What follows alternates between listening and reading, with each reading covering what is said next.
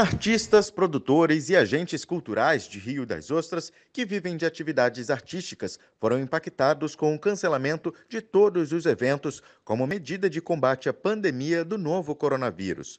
Todos estão sem trabalhar um levantamento realizado pelo Conselho de Cultura revelou que 90% dos profissionais ligados ao colegiado passam por dificuldades financeiras. Atualmente, segundo dados da Secretaria de Fazenda de Rio das Ostras, a cidade possui cerca de 10 mil registros de microempreendedores individuais na área da cultura.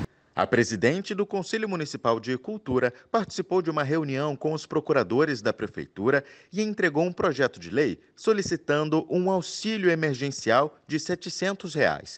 O documento consiste em destinar parte da verba da Fundação de Cultura de Rio das Ostras para a categoria por dois meses. A minuta de lei foi feita através é, do dinheiro destinado às medidas impositivas é, e a Câmara deu a recomendação que isso fosse para a saúde, é, nós concordamos com isso e agora há um, uma segunda forma de ser feita que será retirado do orçamento é, da própria fundação, de eventos que não, não poderão acontecer nesse momento todos os trabalhos que estão parados, é, vai se achar uma brecha nisso tudo para que seja remanejado para esse auxílio. Além disso, o Conselho Municipal de Cultura criou uma campanha para arrecadar remédios e dinheiro para os artistas e destinou até um espaço para troca e venda de qualquer objeto. Cultcoleta.din já está na rua, dia 15 de maio.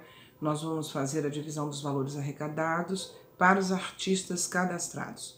É, temos o cultcoleta.com, que é um site onde o artista vai colocar aquilo que ele tem, aquilo que ele faz, à sua disposição, e você vai lá, faz uma visitinha. É uma lojinha virtual. E o cultcoleta.rem. É, algumas pessoas podem ter remédios em casa ou facilidade de adquirir remédio, então manda um e-mail para gente e o artista que precisa manda também. E nós fazemos a intermediação. Essa é uma ação de retribuição aos profissionais que, durante o tempo de não pandemia, nos fazem melhores, nos fazem alegres, nos fazem com mais, mais espírito crítico. Contamos com você.